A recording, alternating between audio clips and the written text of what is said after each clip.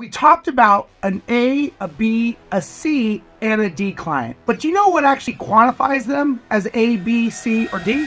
Well, first let's start with a D client. What is a D client? Well, a D client is someone who is either cheap or they take up a lot of your time. And at the end of the day, you get nowhere with a D client. You know the one. When the phone rings, all of a sudden you're like, oh my God, here we go. Nothing good happens from a D client. You have to learn how to fire your D clients right away. A C client is either cheap or they take up your time, but not normally both. They're tolerable, but a C is actually in transition. So what's a B client? Well, a B client is actually the majority of your clients, but they're the silent majority. They're the ones you never hear from. They pay their bills on time, you call them up on the phone, they're a pleasure to talk to, they thank you, they pay the price, and they never question it. The B clients are actually the ones that you have all the time, but you just don't hear from them.